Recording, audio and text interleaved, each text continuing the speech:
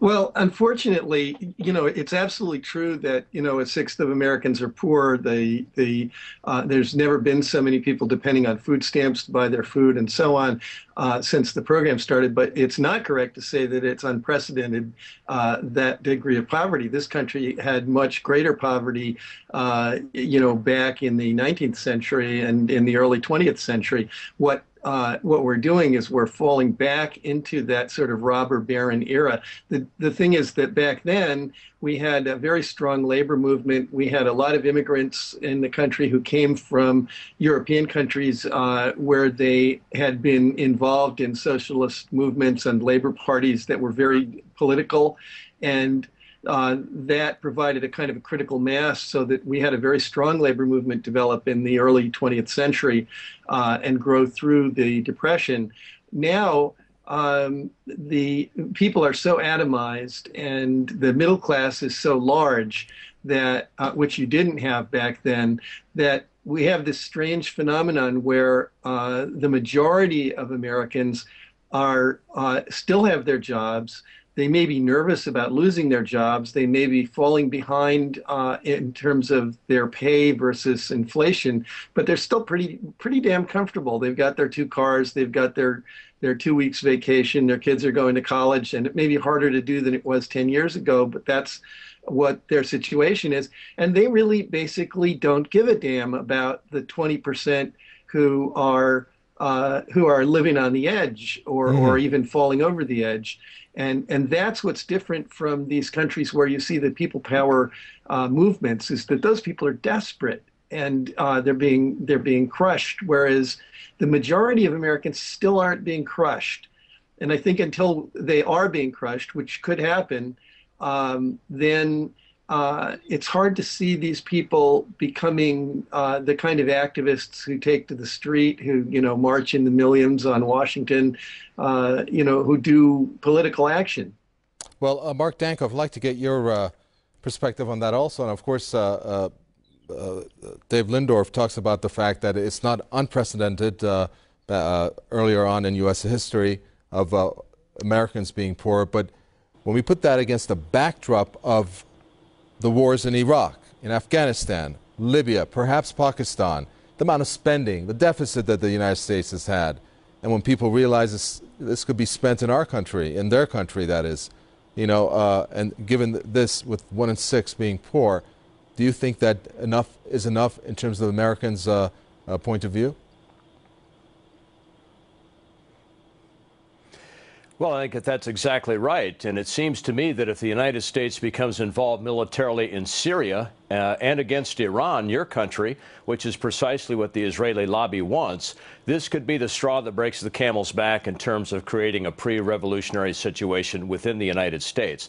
I would also caution people, as we have talked about third parties, to beware of one other dynamic, and that is co optation just as one can argue very effectively that Western intelligence agencies are attempting to co opt uh, legitimate revolutionary movements in the Middle East, uh, the same thing is true here in the United States. Take a look at the Tea Party, for example, uh, which Allison Weir uh, made reference to earlier. Uh, the fact of the matter is that the Tea Party has grown out of the Ron Paul, Pat Buchanan wing of the Republican Party.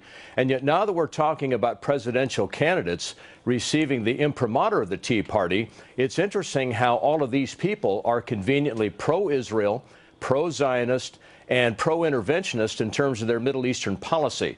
This suggests that a legitimate groundswell populist movement, in this case the American right, that was coming forth to oppose some of these policies is in the process by being uh, of being taken over by forces that are pushing the pro-Zionist uh, interventionist people like Mike Huckabee and Sarah Palin and Newt Gingrich.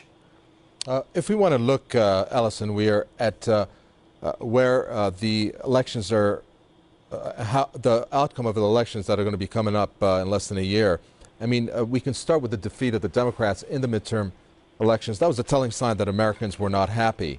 So, uh, if you can put that into perspective uh, in terms of uh, what Americans want, i.e., the third party. I mean, in terms of the Democrats and the Republicans, people, again, based on the Gallup poll, are pretty much at this point disillusioned with the political system in the U.S. at least that's what it appears uh, not only in terms of the poll, but all the other uh, facts uh, surrounding uh, the state of the United States? Well, I think people are disillusioned, and that's why there does tend to be such a, a low voter turnout, which is unfortunate because, of course, um, if you're not happy with the system, what you should do, I feel strongly, is vote and uh, take greater action. But many people just sort of opt out, so that's unfortunate. In terms of what will happen with the next election, uh, I don't feel I, I can predict. I did feel strongly. I knew that there, before this previous election, I knew it would be a Democrat. Um, I thought it was part of this game that now there would be a Democrat, there'd be a, a different face on the same policies, and that's exactly, of course, what has turned out to be the case. So, at this point, I'm. If you'd asked me a few years ago, I would have made a prediction, and in that case, it would have been correct. Uh, right now, I can't make a prediction, except that I think I, I don't expect major change yet. Okay. Unfortunately, even though there's so much uh, dissatisfaction with what's going on, one of the two party, major parties will win once again in the next election. I will make that prediction. Uh, Dave Lindorff, uh, looking at uh, the foreign policy of the United States, uh, when we put things into context in the conversation that we've had in this news analysis with our other two guests, and you inclusive, uh, get the feeling that uh, you know it's not going to be that uh, consequential if the United States maintains the status quo. I mean, but is that correct? I mean, if we want to look at uh, the foreign policy of the United States, let's look at the security shuffle that took place. Uh, let's look at, uh, I mean, is it uh, the non-negotiables when we talk about, for example, Israel, or when we talk about the arms manufacturers and how they have to keep rolling? And keep producing and manufacturing. I mean, certain things seems to be etched into uh, just policies and foreign policies of the United States, but at what cost? That you're right that the the foreign policy changes very little whichever of the two parties has the White House and has the Congress. You don't see a uh, confrontation uh, with the basic uh, imperialist stance of the United States of wanting to dominate uh, the the uh, policies and the economies around the world uh, to the U.S.'s advantage. But I think that um, that uh, there are things that could change this. Uh, not so much who gets elected, but that the U.S. is really sort of running up against a wall now of financing, and it's not going to be possible for the U.S. to continue spending the kinds of money that it spends. Uh, you know, having a defense uh, or a military budget that's as large as the rest of the world's combined uh, is not going to be able to continue. And we're starting to see that with the weakening dollar and uh, with the strains being put on the U.S. domestic budgets. So you know, it may be that uh, we will be, uh, our, our, country will be driven away from its imperialist positions by uh, simply uh, economics.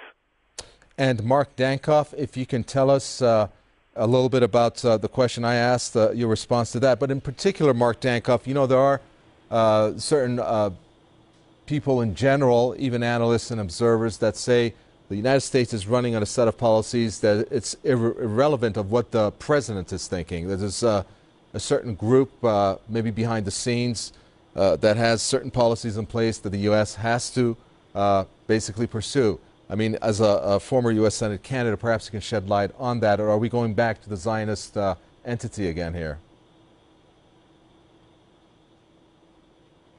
Well, I think the Zionist entity is in turn tied up with the international banking interests that clearly control presidential policies and congressional policies. When I was the Constitution Party's candidate in the United States Senate race in Delaware in 2000 against Tom Carper and Bill Roth, it was most instructive for me to get into the Federal Election Commission records to see who was bankrolling both Carper and Roth. It was not simply a question of the same kinds of political and econo economic interests that we've been talking about here on this program being involved in bankrolling the major party candidates, but you were seeing the same names cropping up on both of the major party candidates' contribution lists. In other words, they had their bets covered, regardless of whether uh, Senator Roth had been reelected again uh, or Governor Carper, of course, who did in fact become Senator Carper, was elected. The fact of the matter is that the same interests had a stranglehold regardless of how it went.